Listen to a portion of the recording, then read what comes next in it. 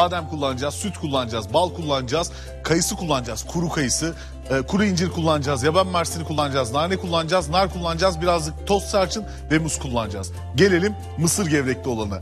Mısır gevreği kullanacağız, çikolata kullanacağız, böğürtlen kullanacağız, toz antep fıstığı kullanacağız, badem kullanacağız. Fıstıklı çikolata kullanacağız, muz kullanacağız ve tabii ki süt kullanacağız.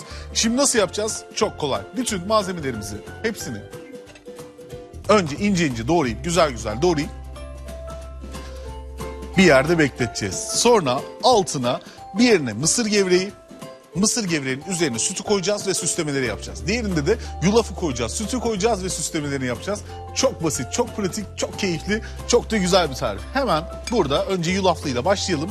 Yulaflıyla başlamadan önce şöyle güzelce madem süsleyeceğiz dedik birkaç kayısıyı, kuru inciri güzel güzel doğrayalım. İnanılmaz keyifli, inanılmaz eğlenceli, inanılmaz basit.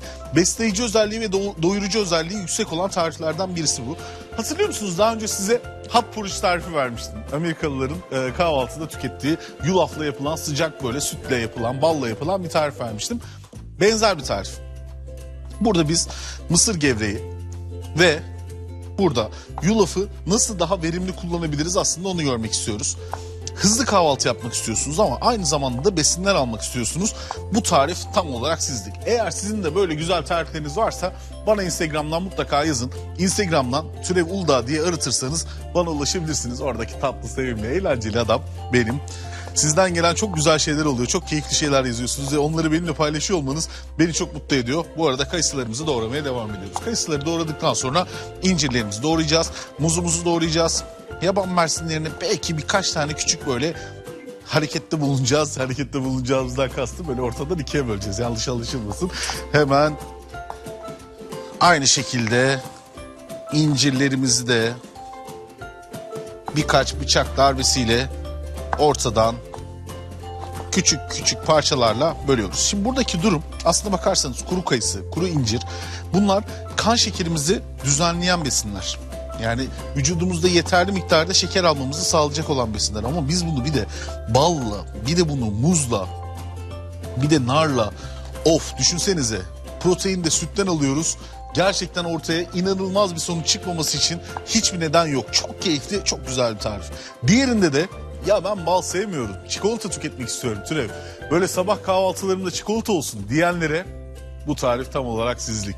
Gerçekten ikisi de hani evlat birisi hani kız birisi o erkek çocuğu gibi düşün ama ikisi de birbirine ayrılabilecek lezzetler değiller.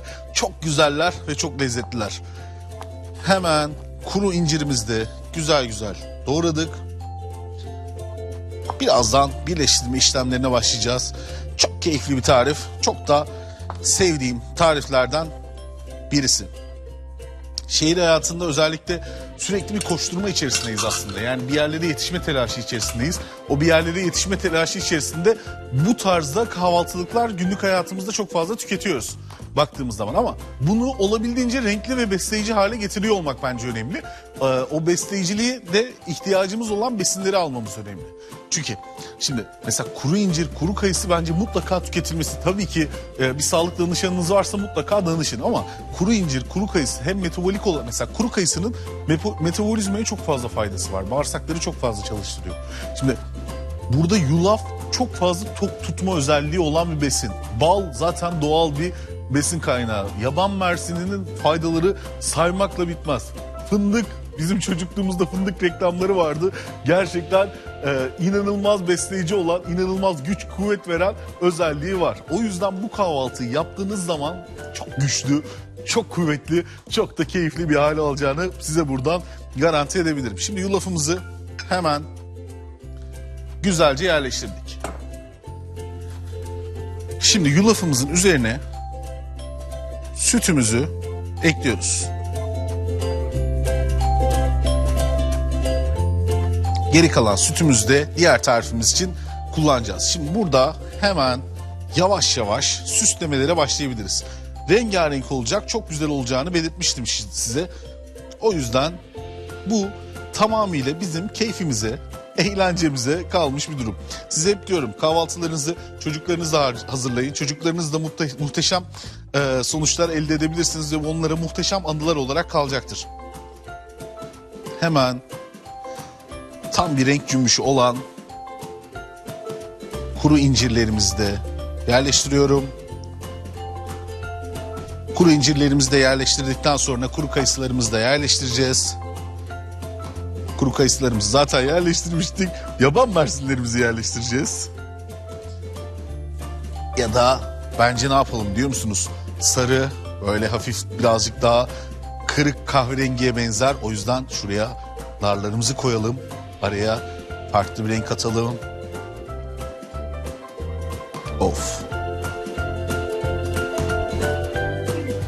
Şöyle keyifli keyifli.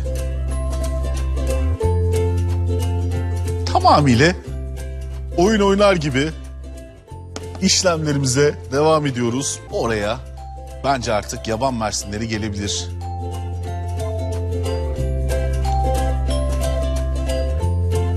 Yaban mersinleri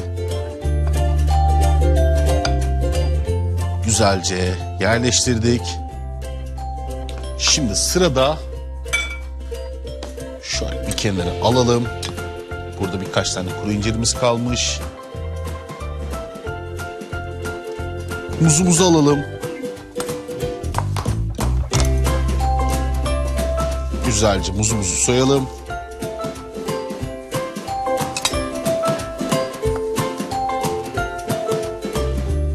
Muzumuzu da hemen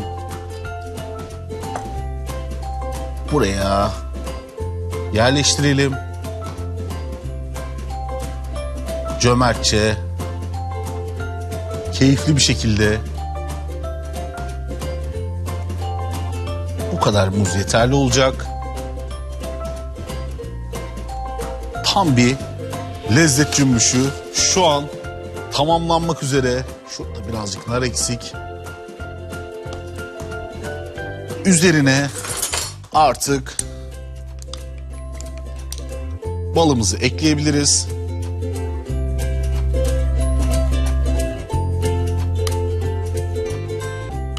Bütün meyvelerin üzerine güzelce balımızı ekliyoruz.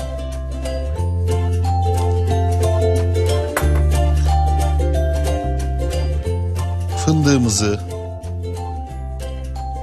yine cömertçe ekledik. Toz tarçınımızı da ekledikten sonra hemen üzerine nanemizi yerleştirelim. Ve ilk tabağımız hazır. Bence çok güzel görünüyor. Çok çekici görünüyor. Sıra geldi. Hemen ikinci tabağımızı hazırlamakta. İkinci tabağımızda da çikolata, böğürtlen, of gerçekten mısır gevreği hepsi inanılmaz duruyor ama bence bu muzu da kullanalım. Bu muzu nasıl olsa muz kullanacağız. Şöyle doğrayalım. Bu muz kenarımızda bir yerimizde dursun. Mısır gevreğimizi tabağımıza ekledik.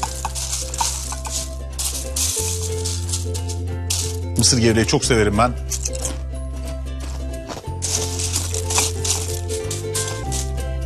Sevdiğim şeyleri de yemeyi seviyorum.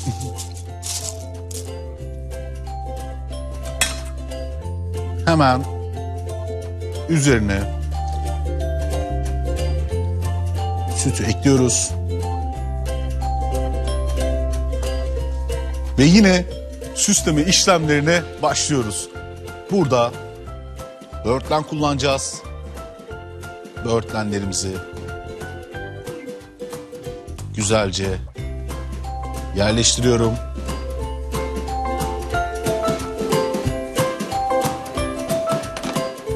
Hemen elimizi temizleyelim ki renkler olabildiğince birbirine karışmasınlar. Araya muzumuzu yerleştiriyorum.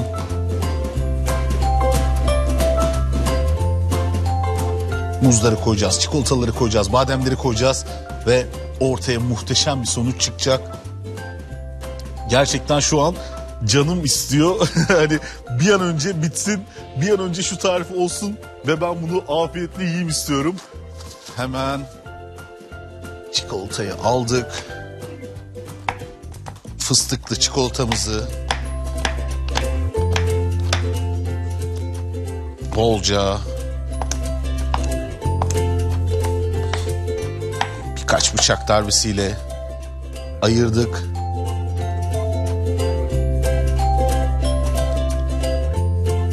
Şöyle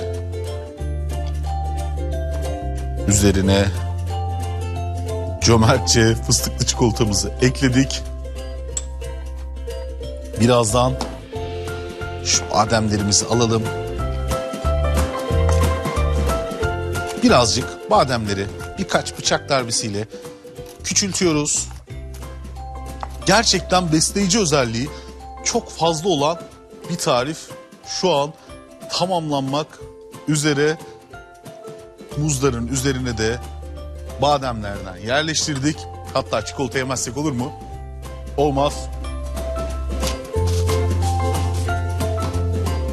Hep söylüyorum size bal tutan parmağını yalar.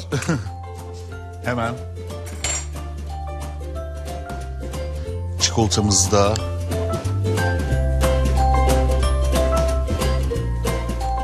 şöyle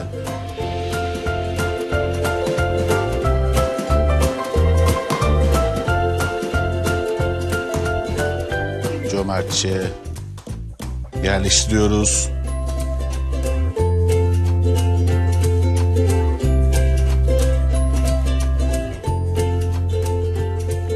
Üzerine de toz fıstığımızı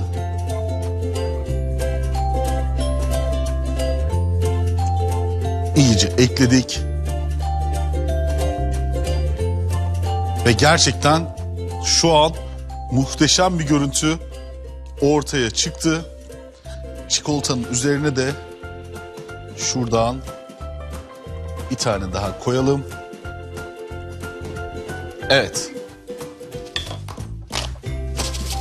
Ve mısır gevrekli olan, yulaflı olan sabah kahvaltılarımız hazır. Umarım bu lezzetli tarifleri siz de evinizde deneyip afiyetle yersiniz. Evinizde denedikten sonra bana Instagram'dan mutlaka yazın. Instagram'dan Türev Uludağ diye aratırsanız bana ulaşabilirsiniz. Biz de seni seviyorum denmez kahvaltı hazırladık. Bir sonraki programda görüşmek üzere. Hoşçakalın.